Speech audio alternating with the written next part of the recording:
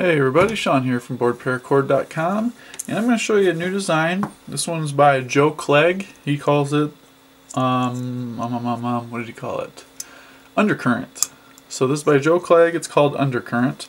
It's kind of similar to another one called River Filled with Jumping Fish, however there is one slight difference. Um, I'll show you what that is. Today I'm going to use two different colors. I've already fused them together right here six feet of each color. Probably won't use all of it, but I'll show you what I don't use. And the first color that I'm using is just regular yellow, which is this one here. And then the other color, this is a new color I came up with called Shockwave. Neon green and black. Probably going to have more colors in that pattern coming soon. But I really like this pattern, so I wanted to do it in a bracelet. Alright, so I flattened the ends here. And what we're going to do is take our buckle we're going to take our two working ends and go down through the top of the buckle toward the back, just like so. I'm going to get all my other excess out of the way.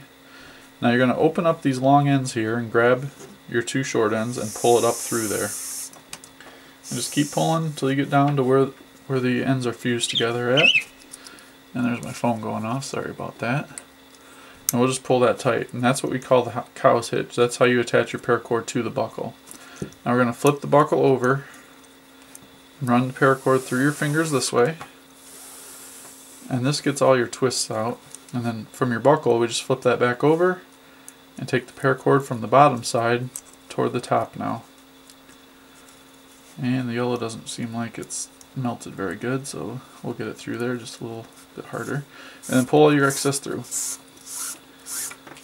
Until you get your basic shape of your bracelet, which is this loop here. Should have two loops actually. Once you have that, you can open your bracelet. And we'll take our yellow cord off to the left and our green off to the right. So now you've got your two cords coming up right out the top of the buckle. It goes down to the other end of the buckle. You're going to measure from this edge here down to the edge right here. You don't want to measure these spikes here because that's going to be inside of the buckle on the other end and it doesn't count as part of your measurement. I think I'm going to go about that long just for the video. I don't know how long that is, but it works good for me. So the first thing you do, let me uh, this paracord wrapped around this chair here. So let me get that. Okay, there we go. Alright, so the first thing we're going to do is just start off with the basic Cobra. And that is, you're just going to take your left cord, create a loop, take it off to the right side. Take your right cord over the yellow, behind the back, and up through the loop. Just like that, real easy. And we're just going to pull that nice and tight and snug it right up to the buckle. Just get that as tight as you can. And once you think you got it tight enough, remeasure just to make sure. Alright, so the first thing we're going to do is we're going to create this S loop that I like doing. I don't know why, but I like doing this one. So you're going to create a loop on the right, a loop on the left, and then it's going to go back over from where it came from. Now the green one, what that's going to do, that one's going to come straight over everything, right down through the middle. Once it does that, we're going to bring it up through the loop that it came on the side that it came from. So the green is always going to stay on the left, the yellow is always going to stay on the right. So the green basically, let me just zoom in on this for you real quick so you can see what's going on here. The green one went over the two yellows, down through the center, and then it came up through the loop on the right. And then you can go ahead and pull everything nice and tight. Just kind of hold on to your center cords right here and push everything toward the buckle. It'll help cinch it up. And then you can pull your cords tight. Just like that. Pretty simple. And now you're going to do the same thing but with the other side.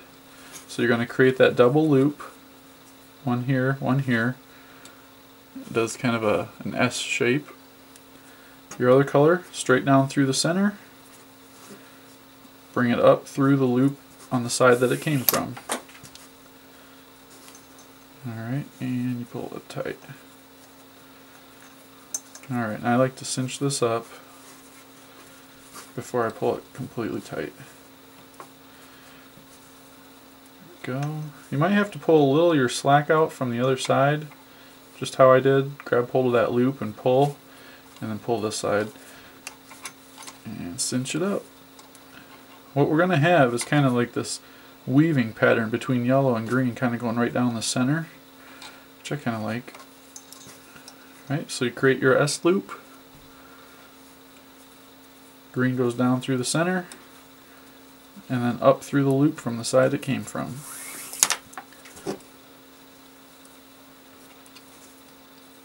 And I'm going to pull that yellow cord tight, cinch everything up, and pull it tight. Pretty easy. I really like this this cord, this green and green and black shockwave pattern. Really cool. Alright, so we're over the center, down through the center, and up through the, the loop on the right. This one's pretty easy. You can do this one pretty quick, I think, once you get the hang of what this design is doing. The design's kind of thrown off by this paracord because it's kind of like a zebra. When you put a bunch of them together, you can't really tell where where one ends and where one begins. But I think it looks good. I like this color. Alright, so I'm going to show you a couple more here real quick. Hope I've been staying in the frame. I'm pretty close, aren't I? Alright, we'll back up just a little. Um, did I just do this one? Yeah, I just did that color. Alright, so yellow, create your two loops. Oh, cross over everything, down through the center, and up through the loop. It doesn't get a whole lot easier than this, so practice makes perfect though. Get that tight and get it cinched up. There we go. Alright, and we'll create, I'll do one more here. S loop down through the center, up through the loop where it came from.